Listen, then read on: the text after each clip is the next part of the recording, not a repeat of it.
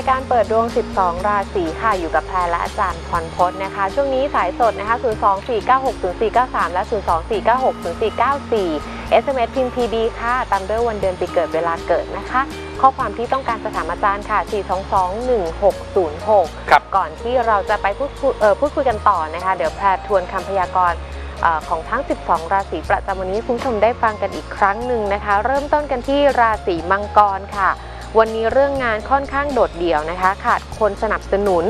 ดังนั้นพยายามอย่ามีปัญหากับคนรอบข้าง ถือว่าดีที่สุดเลยนะคะ ส่วนเงินทองการลงทุน ยังสามารถแก้ไขปัญหาเฉพาะหน้าได้ ปรับตัวกับสิ่งใหม่ ๆ ได้ดี เช่นเดียวกับเรื่องหัวใจที่ทายดีนะคะ ดังนั้นวันนี้ก็สุขทางกายและใจค่ะ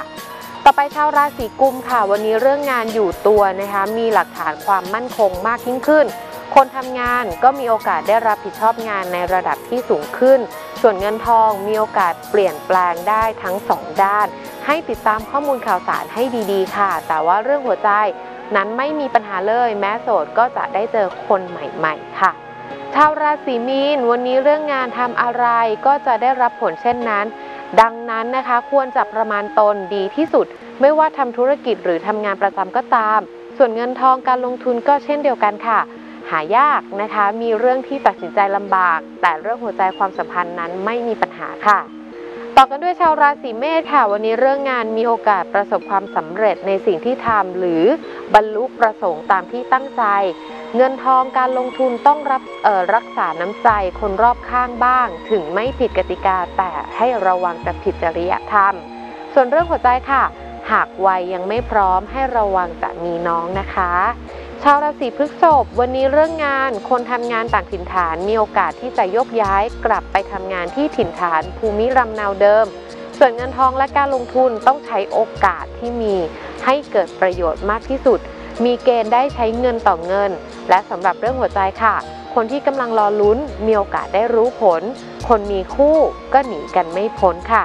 ชาวราศีเมถุนเรื่องงานในวันนี้ เวลามีปัญหาให้พยายามสื่อสารกับคนรอบข้าง อย่าเก็บทุกอย่างมา เพราะหลายอย่างอาจจะไม่ได้เป็นอย่างที่ใจคิด ส่วนเงินทองยังไม่ได้รับผลกระทบนะคะ ทั้งในการออใช้จ่ายแล้วก็เรื่องของการลงทุน และสำหรับเรื่องหัวใจวันนี้คนที่รอคนรักเก่ามีโอกาสได้ข่าวคราวค่ะ ชาวราศีกรกฎเรื่องงานพยายามขวนขวาย เพราะมีโอกาสได้งานเสริม โดยเฉพาะจากการวิ่งเต้น การเป็นคนกลาง รวมถึงการรับทำกิจธุระให้กับบุคคลอื่น แต่เรื่องเงินทองให้เตรียมสำรองเรื่องการเดินทางและยานพาหนะ ส่วนเรื่องหัวใจวันนี้พอจะมีโชคลาภเรื่องของความรักค่ะ ชาวราศีสิงห์เรื่องงานมีโอกาสได้ข่าวดีจากการสื่อสารจากช่องทางประเภทต่างๆ โดยเฉพาะจากการริเริ่มสิ่งใหม่ๆ เงินทองการลงทุนให้ระวังคนเข้ามาแสวงหาผลประโยชน์ เช่นเดียวกับเรื่องของหัวใจ ไม่ว่าจะโสดหรือว่ามีคู่ดูเหมือนว่าจะมีแต่เรื่องที่ไม่ค่อยได้ดั่งใจนักค่ะ ชาวราศีกันนะคะ วันนี้เรื่องงานต้องระวังอย่าร้อนวิชา อย่าไปแทรกแซงการทำงานของบุคคลอื่น ส่วนเงินทองมีโอกาสได้ลาบผลจากผู้ใหญ่ มีเกณฑ์ได้ขยับขยาย เรื่องหัวใจ คนโสดมีโอกาสสานสัมพันธ์กับคนไกล หรือคนที่มีเชื้อสายต่างประเทศค่ะ ชาวราศีตุลนะคะ วันนี้เรื่องงานให้เผื่อใจ ทำอะไรก็ดูไม่ค่อยดีนะคะ ไม่มีโชคลาภทั้งเรื่องงานและเรื่องคน พยายามพึ่งพาตัวเองให้มาก ๆสำหรับเงินทองการลงทุนให้ระวังปัญหาในเรื่องของเอกสารสัญญา ส่วนเรื่องของหัวใจคนที่คิดมีคู่ ให้ใช้บริการพ่อสื่อแม่ชักค่ะชาวราศีพิจิกนะคะ วันนี้เรื่องงานยิ่งให้ยิ่งได้ ถ้ามีโอกาสได้ช่วยเหลือคนที่กำลังเดือดร้อนมีปัญหาก็ขอให้ทำ เงินทองรวมถึงการลงทุน อย่าหมิ่นเงินเออขออภัยค่ะ อย่าหมิ่นเงินน้อย อย่าคอยวาสนา ให้เก็บเล็กผสมน้อยนะคะ อย่ามัวแต่รอคอยวาสนาเพียงอย่างเดียว เรื่องของหัวใจเหมาะกับการทำเซอร์ไพรส์ค่ะชาวราศีธนูวันนี้เรื่องงานทำงานเป็นทีมดีกว่าทำงานคนเดียวนะคะ การเข้าหุ้นร่วมลงทุนก็ดีกว่าการทำธุรกิจคนเดียวเช่นเดียวกัน เงินทองรวมถึงการลงทุนก็มีโอกาสได้รายได้เสริมจากการนำเสนอ แสวงหาโอกาส มีเพียงเรื่องหัวใจเท่านั้นที่ไม่สู้ดีนักในวันนี้นะคะ คนที่มีปัญเอ่อคนที่มีปัญหานะคะ ก็อาจจะมีโอกาสที่คุณนั้นจะไม่สามารถเดินต่อไปได้ค่ะคุณผู้ชมเข้าไปอ่านเพิ่มเติมได้ใน Facebook นะคะมิล c เ e Channel TV นะคะ เดี๋ยวช่วงนี้เรามาพูดคุยทาง SMS กับคุณผู้ชมกันต่อเลยค่ะ จากคุณประ จวบนะคะ เกิดวันอังคารที่ 19 สิงหาเออขออภัยค่ะ สิงหาคมถูกแล้วปี 18 นะคะ เวลา 6 นาฬิกา 35 นาที การงานการเงินอาชีพเสริมค่ะ ก็ตรงกับวันอังคารถูกต้องนะครับ ดาวการเงินเป็นกาลีนะก็แล้วต้องเตือนนะฮะ ถ้าคิดจะเอาดีเรื่องการเสี่ยงโชคเนี่ยทั้งช่วงอายุย่าง 41 แล้วก็ 42 ไม่เด่น มีเกณฑ์เสียทรัพย์เพราะเรื่องนี้ ถ้าไม่ใช่หมายถึงเสี่ยงโชคก็อาจจะหมายถึงถูกเอารัดเอาเปรียบ หรือแม้กระทั่งมีเกณฑ์เสียทรัพย์เพราะเรื่องของคดีความค่ะของคุณปีจรนี้นะครับ ซื้อชุดสังฆทานยาถวายพระสงฆ์อืมอาชีพเสริมอืมแต่อาชีพเสริมเนี่ยอาของคุณมีอยู่สองกลุ่มนะฮะค่ะอ่าตรงกันข้ามเลยนะอืมอันแรกเนี่ยเกี่ยวข้องกับสุขภาพค่ะนะครับ แล้วถ้ายิ่งเชื่อมโยงกับต่างประเทศ เช่นเป็นสินค้าที่นำเข้าหรืออ่าส่งออกถ้าทำสเกลใหญ่ค่ะ อีกอันหนึ่งที่ว่าตรงข้ามเมื่อกี้เพื่อสุขภาพ อันนี้ทำลายสุขภาพคืออะไรพวกคะเครื่องดองของเมาโอ้โหนะสลากกินแบ่งทำให้มันถูกต้องตามกฎหมาย อันนี้คือว่ากันค่ะในเรื่องของอาชีพได้บอกว่าอะไรดีไม่ดีนะครับค่ะแล้วก็ดวงนี้ถ้าไม่อยากลงทุน พฤหัสเป็นสีเนี่ยผมเชียร์ให้เรียนโหนนะครับอืมอาจารย์คะมีตัวเลขมา 2 ชุดด้วยกันอันแรก 3305 ค่ะเอ่ออังคารอย่างที่เรียนนะที่เมื่อกี้แพรเขาบอกว่าจะเอาไปใช้บ้างนะอังคารสองเลขนะก็เจ้าชู้หนูใช้ก็ได้โง่ไม่ขยันเอาก็ได้นะอ๋อแต่ว่าอ๋อก็ดีเหมือนกัน ก็เป็นบาปประเคราะห์แหละนะเออแล้วก็อังคารนะจะไปถึงเรื่องของพวกอุบัติเหตุการผ่าตัดก็ได้ อ๋อ05ภัยอาเพศค่ะมฤตยูอันนี้ใช้น้ำพระพุทธมนต์นะแตะ3ตัวแรกเลยครับค่ะและ 318 ค่ะ ราหูทำลายอาทิตย์ ก็ชีพจรลงเท้าอยู่ไม่ติดที่สายตาความดันระบบเลือดงานไม่นิ่ง อันเนี้ยแตะที่เลข8ครับ ค่ะท่านต่อไปค่ะเอ่อเกิดวันเสาร์ที่ 29 เมษายน ปี 04 นะคะ เวลาประมาณ 18 นาฬิกา 30 นาทีถึง 19 นาฬิกา 30 นาทีนะคะครับถามราศีแต่ว่าไม่ได้ระบุจังหวัดมาเนาะนะคะ งั้นจ้ะเป็นคำถามต่อไปคือ อาชีพอะไรดีค่ะ ก็ปฏิทินตรงกับวันเสาร์ถูกต้องนะครับเอ่ออาชีพที่เด่นที่สุดในพื้นชะตาอ่าแต่มีเงื่อนไขนิดหนึ่งของคุณทำเกี่ยวข้องกับพวกของกินสิ่งสวยงามสินค้าค่ะแฟชั่นได้นะร้านดอกไม้ร้านเสริมสวย แต่สถานที่ตั้งร้านไม่ควรอยู่ติดถนนใหญ่อืมนะในตลาดตรอกซอกซอยทำเลดีๆ ในโรงเรียนในห้างสรรพสินค้า พวกเนี้ยอยู่ให้มันรับตาหน่อยค่ะแต่เลือกทำเลที่เหมาะสม แล้วก็ลักษณะ ประเภทการขาย อย่างสมมุติถ้าเป็นของกินหรือว่าสินค้าแฟชั่นเนี่ยเน้นขายส่งเป็นหลักให้ได้ จะยิ่งสมรูปครับ นะคะ บ้านเลขที่ทับ 224 ค่ะ อ่าจันโฉมตรูพุทธนงเยาว์เป็นคู่มิตรนะอันนี้ก็ถือว่าดีครับ ค่ะท่านต่อไปค่ะ คุณนานะคะ เกิดวันที่ 13 เมษายน ปี 20 เวลา 14 นาฬิกานะคะ ถามลัคนาราศีด้วยจากจังหวัดอุดรธานีนะคะ รวมถึงงานเงินความรัก ทำงานรับเหมาก่อสร้างอยู่นะคะ ครับลัคนาสถิตอยู่ในราศีสิงห์นะสิงห์ก็ต้องบอกว่าอ่าจังหวะเวลาหลาย ๆ อย่างค่อนข้างจะเอื้อนะครับ เพราะว่าอิทธิพลของอาสุประเคราะห์ใหญ่ที่เข้ามาสถิตอยู่ในราศีเกิดนะครับและเจ้าเรือนสิงห์ก็เป็นดาวอาทิตย์เป็นคู่มิตรใหญ่ด้วยนะกัมมะก็เป็นสีฮะนะทั้งสองศาสตร์ก็ขึ้นตรงกัน ฉะนั้นในแง่ของของเกณฑ์ชะตาในเรื่องค่ะของงานปีเนี้ย ก็น่าที่จะมีความเปลี่ยนแปลงในทางที่ดีขึ้น รับเหมาก่อสร้างปีนี้พยายามเน้นงานไซส์เล็กๆนะพวกงานต่อเติม พวกงานซ่อมแซมค่ะไม่เอาพวกงานอืมอ่าฐานรากหรือว่าทำทั้งระบบไม่เอา แล้วก็อืมปีนี้อาจจะต้องเดินทางเยอะ เพราะค่ะในเรื่องของอาชีพ และพื้นชะตานั้น ถ้าทำเกี่ยวข้องกับอาชีพนี้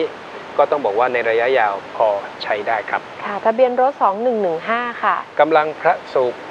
กำลังพระจันทร์ เสริมสร้างอะไร เสริมสร้างไม่รู้เลย ความมีเสน่ห์นะส่วนเบอร์โทร 91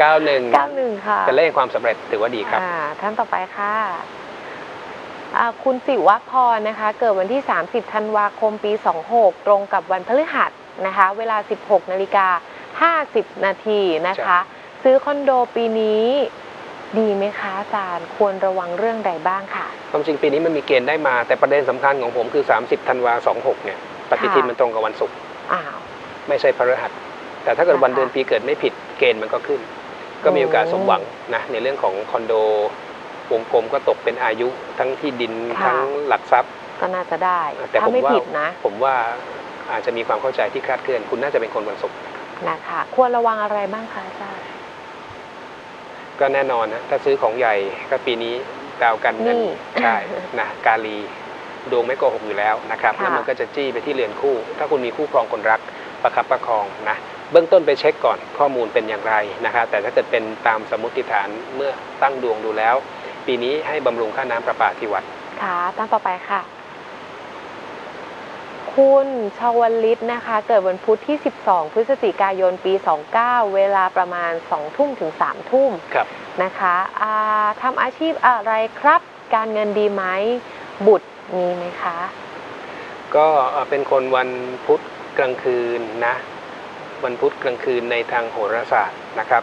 เอ่อเกณฑ์ความจริงต้องดูควบคู่กับภรรยาด้วยนะแต่เอาไว้ว่าดูของคุณก็ได้นะส่วนหนึ่งก็คือเข้าย่าง 30 ดูแลสุขภาพให้แข็งแรง แล้วก็ปรึกษาคุณหมอนะว่าควรจะใช้เทคโนโลยีอะไรเข้าช่วยหรือไม่นะค่ะก็คือเลยผ่านพฤศจิกานี้ไปในเรื่องของบุตรอาชีพ จันทร์สวยนะครับ จันทร์หมายถึงอะไร จันทร์ก็หมายถึงในเรื่องของเกี่ยวข้องกับน้ำอะขายเครื่องดื่มค่ะผลิตน้ำแข็งนะทำซักรีดสเกลใหญ่ก็ประมงนะครับ หรือว่าทำพวกชิปปิ้งค่ะเกี่ยวกับเด็กเล็ก ๆ ก็ได้อ่าอืมพวกเนอร์เซอรี่อนุบาลประถมหลายวัยอย่างเลยอีกกลุ่มหนึ่งดาวศุกร์อยู่เรือนเงินด้วย แล้วก็เรือนงานอันนี้อ่าผมว่าเด่นเด่นกว่ากลุ่มแรกที่ผมพูดเมื่อสักครู่ซะด้วยซ้ำไป ก็ของกินสิ่งสวยงาม นะลองดูค่ะว่าตัวเองถนัดทางด้านไหนครับอืมทะเบียนรถมาอีกแล้ว 3372 ค่ะสามสามก็อย่างที่เรียนในอังคารจะแข็งเกินนะครับ ส่วนเสาทับจันทร์จะพันร้ายทรัพย์สินหายลูกเมียหนีอันนี้เป็นคู่พัดพลากอันนี้ใช้น้ำพระพุทธมนต์แปะทั้ง 3 เลขข้างหน้าครับ ค่ะ ท่านต่อไปค่ะอ่าคุณสุมิตรนะคะ เกิดวันอาทิตย์ที่ 16 ธันวาคม ปี 28 เวลา 20 นาฬิกา 30 นาทีอยากเปลี่ยนงานนะคะ อาชีพเด่นด้านไหนดี แล้วดวงโดยรวมด้วยครับ 16ธันวา28 ตรงกับวันจันทร์ค่ะอะรบกวนตรวจสอบอีกครั้งหนึ่ง อ๋ออัอันนี้คือผิดอีกข้อแล้ว ดีของการใส่ข้อมูลเข้ามาให้ครบนะครับ ค่ะ ส่งเข้ามาอีกครั้งหนึ่งนะคะ ท่านจ้ะ ต่อไปค่ะอ่าคุณเมย์นะคะ เกิดวันพฤหัสที่ 19 เมษายน ปี 27 เวลา 21นาฬิกา17 นาที ปัญหาต่างๆในชีวิตจะผ่านไปได้ไหม ลงทุนนะคะขายเสื้อผ้ารองเท้าจะดีไหมคะ เสริมดวงอย่างไรดีค่ะ ตอนนี้ย่าง 32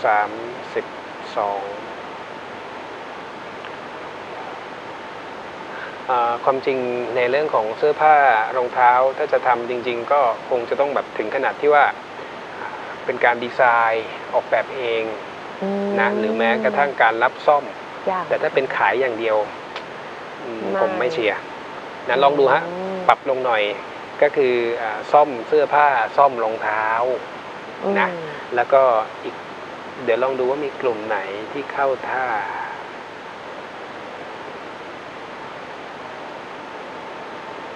อ่ากลุ่มนี้เด่นแต่ควรจะทำต่างถิ่นฐานนะครับค่ะอ่า หรือว่าเป็นงานซ่อมก็ได้นะก็คือพวกธุรกิจพวกเครื่องใช้ไฟฟ้าไอทีคอมพิวเตอร์แต่น่าจะค่ะไกลตัวนะดูแล้วน่าจะไกลตัว ก็ถ้าเอาใกล้ก็อย่างที่ผมเรียนเนี่ยเน้นงานซ่อมนะครับแล้วก็อีกกลุ่มหนึ่งพฤหัสสวยเกี่ยวข้องกับสุขภาพก็ได้ แต่ไม่เน้นหน้าร้านอืมนะขายผ่านทางพวกช่องทางค่ะช่วงนี้กำลังฮิตเลยใช่วันนั้นได้ฟังข่าวครับเขาบอกว่าค่ะจำนวนตัวเลขของคนที่ใช้โซเชียลเนี่ยในประเทศค่ะไทยถ้าผมจำไม่ผิดนะประมาณ 24 ล้าน ถึงค่ะขนาดที่แบบทาง Facebook จะต้องมาโอ้ตั้งสำนักงานในเมืองไทย ใช้มากที่สุดใน Southeast Asia โอ้โหแล้วเขาก็บอกว่ามันเป็นด้านดีก็คือเป็นโอกาสนี่แหละ ในค่ะเรื่องของของการทำธุรกิจการผ่านขายช่องขทางองใช่ อันนี้อืมถ้าเป็นธุรกิจที่เกี่ยวข้องกับสุขภาพเน้นโซเชียลไม่เน้นหน้าร้านค่ะนะจ้ะอ่าเสริมดวงยังไงดีคะอาจารย์ปีจรนี้นะครับ ก็ตอนนี้ที่เห็นชัดๆเนี่ยเรื่องเงินก็มีปัญหาอยู่นะครับของคุณเนี่ยเน้นทำทานกับคนชรานะค่ะนะครับทำให้ต่อเนื่องแล้วก็ ปีนี้นะครับให้หาอ่าเป็นเป็นหยกก็ได้นะหยกมาสวมเล็ใส่กๆก็มีเนอใช่จะได้แหวนมีคนอุปถัมภ์ช่วยเหลือครับอ๋อเดี๋ยวไปรีบเอามาใส่ดีกว่าเปล่าเกี่แล้ยววแต่ไหมคนแล้วแต่คนอย่าจด อย่าเอาทุกเดี๋ยวอย่างจดของเขาอีกไปรวมหมดอ่าท่านต่อไปค่ะเอ่อเกิดวันอาทิตย์ที่ 28 พฤศจิกายน ปี 36 นะคะ เวลา 13 นาฬิกา 17 นาที ความรักและการเรียนวงเล็บมาว่านิเทศศาสตร์ค่ะ ครับ ก็เป็นคนว่าอาทิตย์ผมชอบมากนะสำหรับคำถามลักษณะแบบนี้ ก็บอกว่าติดกระดุมเม็ดแรกผิดก็ผิดหมด ฉะนั้นในเรื่องของอาชีพการเรียนสำคัญนิเทศ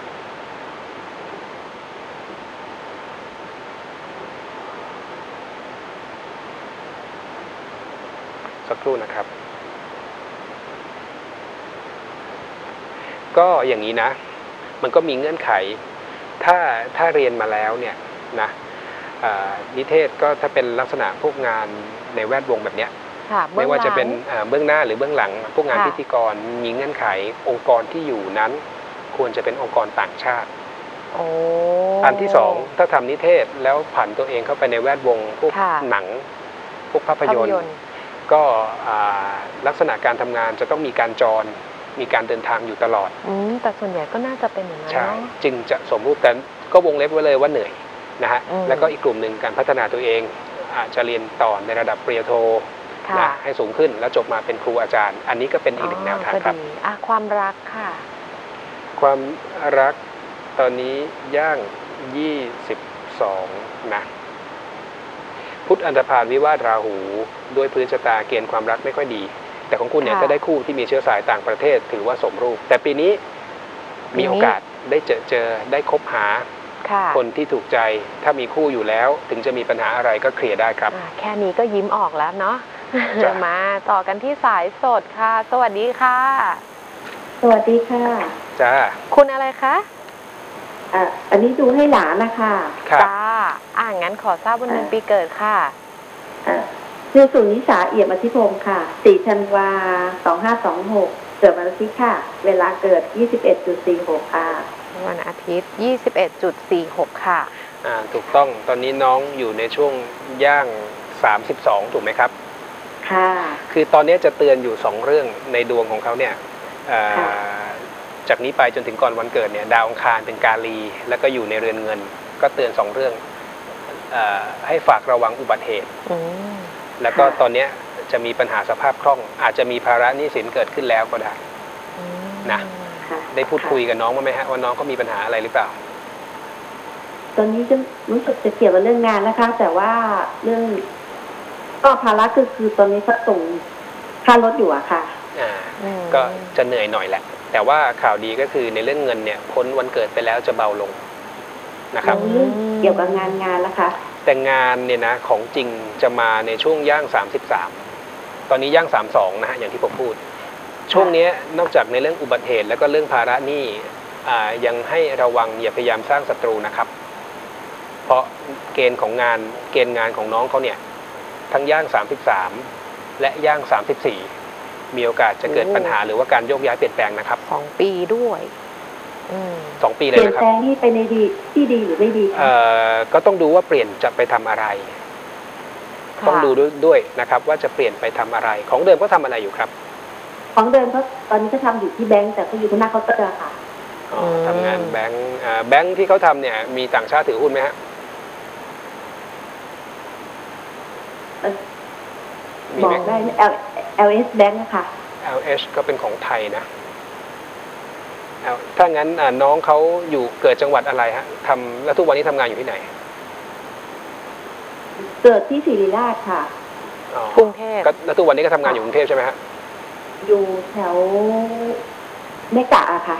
อะอะฟังผมให้ดีนะ ถ้าทำงานสถาบันการเงินเนี่ยอย่างที่ผมเรียนเนี่ยว่าถ้าจะทำให้มันสมรูปก็ต้องทำต่างถิ่นกำเนิดตัวเองนะครับ หรือว่าอืมทำงานกับองค์กรที่มีต่างชาติอ๋ถืออหุ้น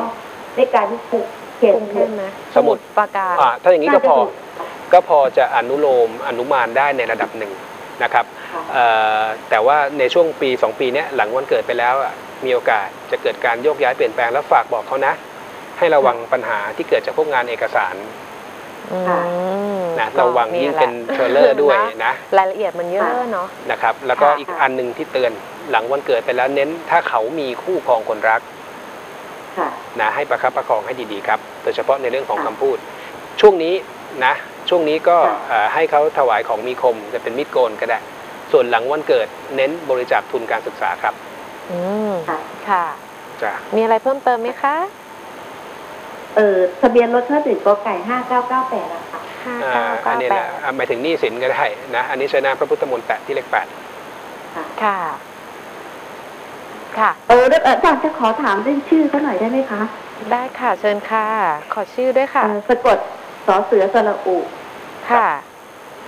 นอถูสระอีสอเสือสระอา ไม่ผ่านแล้วนะ เกิดวันอาทิตย์ใช้วักกาลีนำเลยอืม นะครับ ก็อ่าหลายอย่าง คือจริง ๆ ก็ต้องบอกว่าเขาเหนื่อยเขาช้านะก็ค่ะของคุณอ่าของของของคุณหลานเนี่ย เป็นผู้ชายผู้หญิงครับขอโทษ ผู้หญิงค่ะ ให้เริ่มด้วยนะดอชดาต่อประตักขค่ะอสันฐานโทนังบุญโทต่อพุทธเท่านอนเนนค่ะเลี่ยงสามสอสอเสือสอบรสีสอสาราหอหีบรอจุฬาหอนกฮูกนะก็ไปหาชื่อมา ควรจะเปลี่ยนฮะ เบื้องต้นเนี่ยในเรื่องของชื่อก็สำคัญค่ะนะครับเนาะ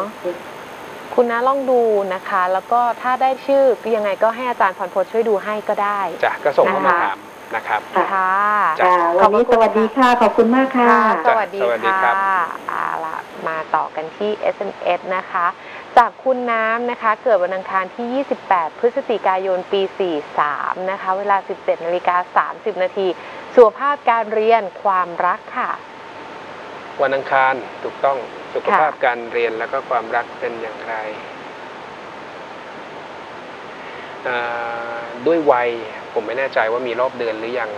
นะค่ะสิบห้าน่าจะมีแล้วนะน่าจะปีนี้มีแล้วให้ระวังอืมสองปีสองปีนี้นะคะน้องน้ำค่ะให้ระวังปัญหาพวกระบบภายในของของสตรีนะจ๊ะค่ะเอ่อส่วนในเรื่องของการเรียนก็เช่นเดียวกันนะก็เกณฑ์การเรียนช่วงเนี้ยทั้งย่าง 15 แล้วก็ย่าง 16 เสียค่ะอ๋อ นะหรืออาจจะต้องเปลี่ยนแปลงช่วงมโยกย้ายปลายสถานที่เรียนค่ะเอาถ้ามอปลายคงย้ายลำบากถ้าอย่างนั้นก็เน้นเป็นประเด็นในเรื่องของผลการเรียนนั่นแหละนั้นหนึ่งตั้งใจสองค่ะการทำบุญเสริมก็ไปเอ่อบริจาคเงินให้กับสถาบันมะเร็งนะมูลนิธิที่เกี่ยวข้องกับเรื่องของยาเสพติด ส่วนหลังวันเกิดพฤศจิกายนเนี้ยไปแล้วนะครับ ก็หมั่นตักบาตรถวายเพลพระครับอืมความรักล่ะคะอาจารย์ความรักอืมอย่างที่เรียนน่ะเกณฑ์การเรียนก็เสียอยู่ช่วงนี้นะเกณฑ์ความรักก็ไม่เด่น ฉะนั้นทั้งสองอย่างเลย พยายามพยายามค่ะอย่าเพิ่งให้ความสำคัญนะครับนะครับนะคะท่านต่อไปค่ะ คุณวีนัทนะคะ เกิดวันที่ 24 พฤศจิกายน ปี 24 วันอังคารนะคะ เวลา 19นาฬิกา45 นาที จะได้เปลี่ยนงานใหม่ไหมคะอาจารย์อ่ามีเกณฑ์งานใหม่นะนะสีแตกค่ะกรรมะปุตตาเป็นอายุก็ก็พิจารณาตามเงื่อนเงื่อนไข เอาลาภากาลี เปลี่ยนอยู่แล้วฮะเปลี่ยนอยู่แล้ว นะถามว่าดีไหมก็อืมสีแตกกรรมะนะปุตตะก็ไม่เสีย ก็จะมีความเปลี่ยนแปลงในทางที่ดีขึ้นเนาะก็พิจารณาแพ็กเกจตามวิทยาศาสตร์เลยค่ะนะเปลี่ยนงานก็มีอยู่ไม่กี่แฟกเตอร์หรอกลักษณะค่ะงานผลตอบแทนนะแม้กระทั่งในเรื่องของการเดินทาง อันนี้ดูดูกันตามความเป็นจริงเลยแต่เกณฑ์โอค่ะเคโอ้โอเค ท่านต่อไปค่ะอ่าคุณอุ นะคะ เกิดวันอาทิตย์ที่ 14 ธันวาคม ปี 29 เวลา 18 นาฬิกา 30 นาทีนะคะทำอาชีพแบบไหนดีแล้วก็ดวงโดยรวมด้วยค่ะ อาชีพที่เด่นตอนนี้อยู่ในช่วงอายุย่าง 29 นะครับ